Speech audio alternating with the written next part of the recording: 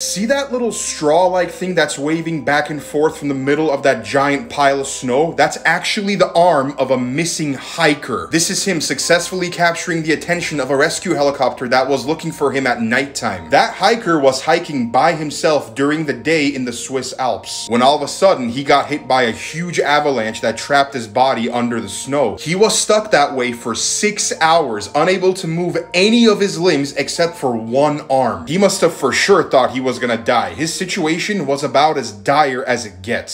So just imagine the relief that he must have felt when he realized the helicopter saw him. And I have to give a huge shout out to the people operating that helicopter. They were able to see a tiny little arm waving at them from thousands of feet away during nighttime, just like finding a needle in a haystack, and that's exactly what they did. The man was rescued and he's unharmed except for a mild case of hypothermia.